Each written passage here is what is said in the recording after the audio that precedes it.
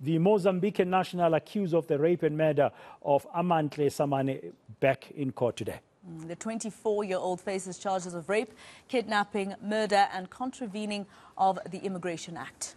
Per made his first appearance in the Protea Magistrate Court in Soweto last week. The six-year-old girl's body was found in a, shock, in a shack near her home in Orlando in Soweto last week. Now, she was laid to rest yesterday.